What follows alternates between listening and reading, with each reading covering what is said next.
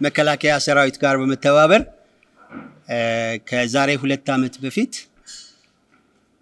አዘጋጅተን ነበረ። እንድናዘጋጅ ኃላፊነት ተሰጥቶን ነበረ። ያንን ፊልም አዘጋጅተን ጨርሰን የአሁኑ ቅዳሜ መጋቢት 14 2016 ዓ ም በአዲሱ አድዋ መታሰቢያ አዳራሽ በሁለት ሺህ እንግዶች በተገኙበት እናንተን ጨምሮ ሁለት ሺህ እንግዶች በተገኙበት ፊልሙ ይመረቃል። የሀገሪቱ ታላላቅ ሰዎች ይመርቁታል ብለን ተስፋ እናደርጋለን። ስለ እናት ምድር ሰላሳ ሺህ ሰው የተሳተፈበት ፊልም ነው።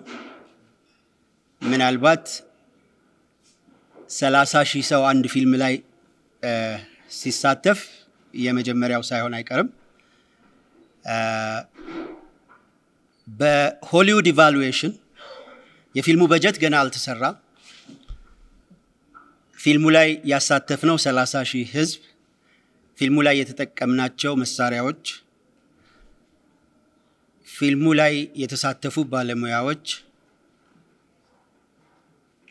በበጀት ሲሰሩ በሆሊውድ evaluation አሜሪካን ሀገር ሄደን ሎስ አንጀለስ ፊልም ሎስ አንጀለስ Pan African Film Festival ላይ ተሳትፈን ነበረ። ሎስ አንጀለስ Pan African Film Festival ላይ ከተላኩ ሁለት መቶ ፊልሞች ውስጥ ከተመረጡት ሶስት ፊልሞች አንዱ የኛ ሆኗል። ብዙ ጊዜ ስለ ፌስቲቫል የምታውቁ ሰዎች ፊልም ፌስቲቫል ላይ ከሚሳተፉት ከሚታዩት ፊልሞች ውስጥ ይመረጡና ሶስት ፊልሞች opening፣ centerpiece እና closing ይሆናሉ።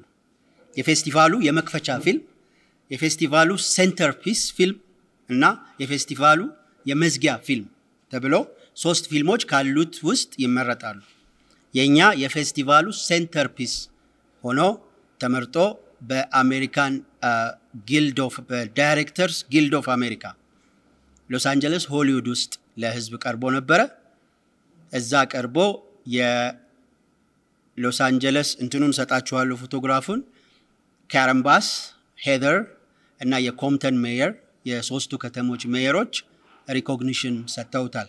በከተሞች ደረጃ የፌስቲቫሉ ትልቅ ፊልምም ሆነው ምስጋና እና መወድስ ቀርቦለታል። እዛ ባሳየንበት ወቅት ባለሙያዎች መጥተው ያንን ፊልም አይተው ገምግመው ይሄ ፊልም በሆሊውድ ኢቫሉዌሽን መቶ ሚሊየን ዶላር ያወጣል። እኔ ያወጣው እያልኳቸው አይደለም እንዳንሳሳት። ይሄንን ፊልም አንድ የፊልም ፕሮዲውሰር ሰርቶት ቢሆን ኖሮ በአሜሪካ ስታንዳርድ አሜሪካኖች ለሁሉም ነገር ከፍለው ሰርተውት ቢሆን ኖሮ ከመቶ ሚሊዮን ዶላር በላይ የሚገመት ፊልም ነው የሰራው ብለው የሆሊውድ evaluation በጀቱን ሰጥተውኛል። ግብአቱ በጠቅላላ የመከላከያ ነው። እንግዲህ ቅዳሜ ከስምንት ሰዓት ጀምሮ የሀገሪቱ ታላላቅ ሰዎች ባሉበት በአዲሱ አድዋ መታሰቢያ አዳራሽ ይመረቃል። ጥያቄ ካላችሁ ጥያቄ ለመመለስ ዝግጁ ነኝ። እሺ፣ እነማን ተሳተፉበት? በብዛት ፊልሙ ላይ የተሳተ ከመጨረሻው ልጀምር ብዬ ነው። በብዛት ፊልሙ ላይ የተሳተፉት አይ memory ትንሽ እንትን ስለሆነ አንድ በአንድ ልመልስ። አርጅቻለሁ፣ ይቅርታ አድርጉልኝ። ስለዚህ አንድ በአንድ ልመልስ። የመጀመሪያው ፊልም አብዛኛው ፊልሙ ላይ የተሳተፉት አዳዲስ actor ኦች ናቸው።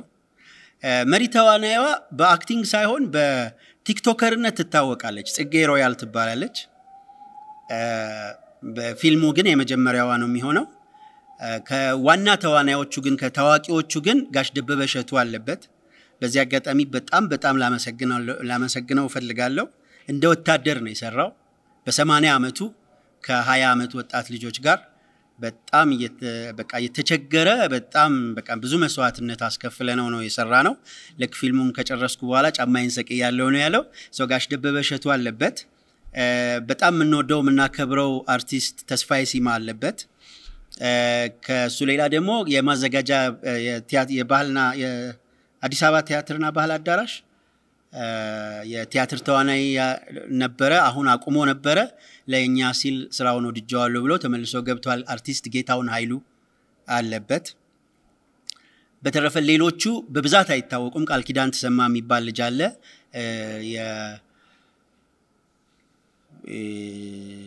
አደይ ድራማ ላይ ይሰራ የነበረ ልጅ ነው። እሱ አለበት። ታጠቅም እንዲሁ አደይ ድራማ ላይ ይሰራ የነበረ ልጅ ነው። እሱ አለበት። ሌሎቹ በሙሉ በሙሉ አዳዲስ ናቸው። የመጀመሪያ የኔ ፊልም ሲኦል የሚል ታስታውሳላችሁ?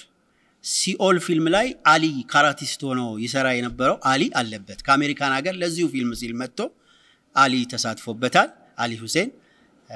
በተረፈ ሁሉም አዳዲስ ፊልሞች ናቸው። ዘውጉ documentary feature ነው። documentary feature ነው። የ logline ኑን ብቻ ልሰጣችሁ እችላለሁ። እሱ የትግራይ ልጅ ነው።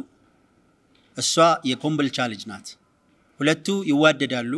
ጦርነቱ ሲነሳ ግን እሱ የህወሀትን ቡድን ይቀላቀላል፣ እሷ ደግሞ የመከላከያን ትቀላቀላለች። ሁለቱ በተቃራኒ ቡድን ውስጥ ሆነው ያው የእርስ በርስ የመዋጋት ችግር ውስጥ ይገባሉ ማለት ነው። ከዛ ግን ይሄ የሮማንቲክ ድራማው ሳይድ ሆኖ በእውነተኛ ታሪክ ላይ የተመሰረተ ምናልባትም በዜና ስንሰማቸው የነበሩ በጦርነቱ ወቅት በዜና ስንሰማቸው የነበሩ ከተለያየ ቦታ ስንሰማቸው የነበሩትን አንድ በማድረግ የግለሰብ ታሪኮችን በአንድ ቤተሰብ ውስጥ በማስገባት የእውነተኛውን የጦርነት ታሪክ ደግሞ ከመከላከያ ኃይል በመስማት በእውነተኛ ክስተት ላይ የተመሰረተ ታሪካዊ ድራማ ነው ማለት ይቻላል ዘውጉ። ሶስተኛ የመጀመሪያ ጥያቄ የነበረው የብር ጉዳይ ነው። የብር ጉዳይ ለጊዜው calculate ተደርጎ አላለቀም ወጪው። እንዳልኳችሁ ሰላሳ ሺህ ሰው ነው የተሳተፈበት። ብዙ ነው የለፋሁበት። ለገንዘብ ብዬ አይደለም የሰራሁት። ግን አነጋጋሪ ጉዳዮች ስላሉ ገና ያላለቁ የ post production ስራዎች አሉ። ወደ ውጭ ሀገር ለፌስቲቫል ስናሳትፍ የ post production ስራው ገና በ eleven point one round መሰራት አለበት ተብሏል። ስለዚህ አንዴ በጀት announce ከተደረገ ያ ቁጥር ቋሚ ስለሚሆን በኋላ ለማስተካከል ስለማይቻል ወደፊት የሚገለጽ ሆኖ ለጊዜው ይለፈኝ። አመሰግናለሁ። እሺ፣ ከስምንት ወር ነው የፈጀው ፊልሙ። እኔ ፊልም ስሰራ I think ተደጋጋሚ ችግሬ ይመስለኛል ቶሎ ፊልም አላወጣ ሰው አንድ ዓመት ከስምንት ወር ነው ፊልሙ የፈጀው። የቀረጻ ቦታዎቹ አላማጣ፣ ዞብል፣ ወልዲያ፣ ቆቦ፣ ኮምቦልቻ፣ አዲስ አበባ፣ ጅማ፣ ደነባ የሚባል ቦታ እና ግሮቭ ጋርደን እንደ ስቱዲዮ ተጠቅመንበታል።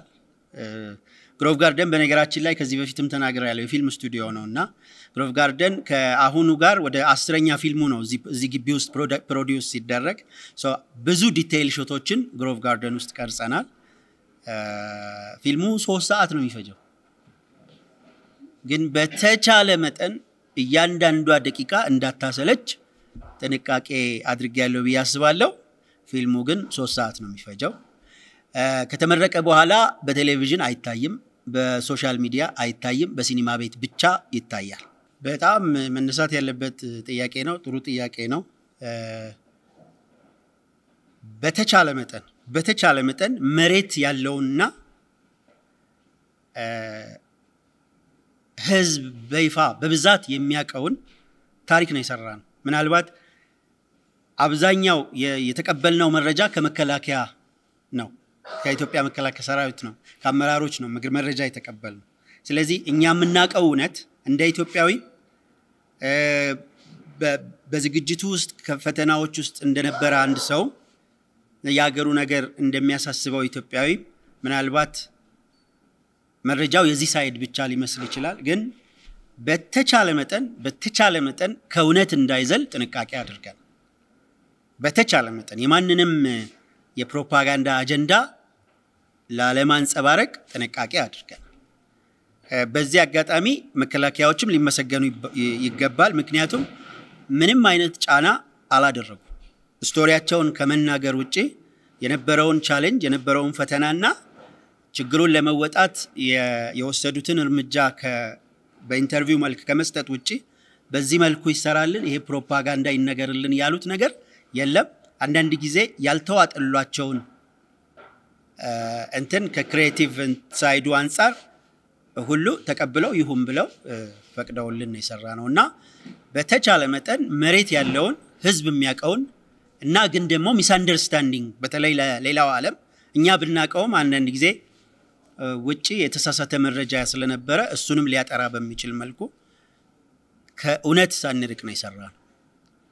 ዝርዝሩን ግን መልሱን ያው ታገኘዋል። አልሞከርኩም፣ ምክንያቱም ፈቃደኞች አልነበሩም። አንዳንድ ሰዎች ማለት ዋናዎቹንም ባይሆን የዛ ደጋፊ የነበሩ ሰዎችን ለማነጋገር ሞክሬ ነበረ። ብዙም ጥሩ ምላሽ አላገኘሁም። ስለዚህ በተቻለ መጠን ጀጅ ሳናደረግ ነው የሰራ ነው። እናንተ ልክ አይደላችሁም የሚል ነገር አላልም። ለምሳሌ ጦርነት ነው። በቆቦ በኩል ኢትዮጵያ ወደ ተቀረው የኢትዮጵያ ክፍል ወረራ ተደርጎ ነበር ነበር። ይሄንን ለመስራት ማንንም ማናገር አያስፈልግም። ዓለም የሚያውቀው እውነት ነው። ሰው በቆቦ በኩል ወደዚህ ወረራ ተደርጓል ተደርጓል። እስከ ሸዋሮቢት ደርሰዋል ደርሰዋል። አሁን እነሱን ማናገር የሚያስፈልግህ ለምን ደረሳችሁ፣ ምክንያታችሁ ምን ነበረ ምናምን የሚለውን ለመመለስ ነው። እሱ ደግሞ ለፊልሙም አስፈላጊ አይደለም። ስለዚህ ያለውን እውነት ነው የሰራ ነው ማለት ነው።